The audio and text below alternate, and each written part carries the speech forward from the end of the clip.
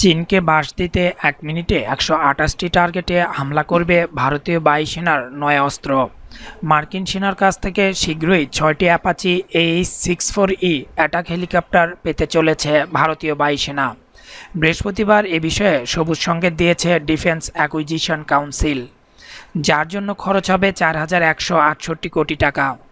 এর আগে দুই হাজার পনেরো এ তিন দশমিক এক বিলিয়ন টাকা খরচ করে বাইশটি বোয়িং ও পনেরোটি চিনুক হেভিলিফটেড চপার অর্ডার করেছিল ভারতীয় বায়ুসেনা।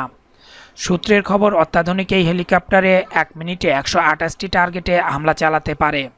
এছাড়া যুদ্ধকপ্টারের চালকদের যেহেতু স্থল সেনাদের সঙ্গে পাল্লা দিয়ে কাজ করতে হয়, তাই এই নয় কপ্টার তাদের আরও সাহায্য করবে বলে মনে করা হচ্ছে।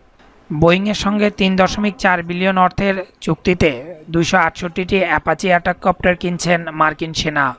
এখনও পর্যন্ত বিভিন্ন দেশে দুই হাজার দুইশোটি অ্যাপাচি বিক্রি করেছে বোয়িং।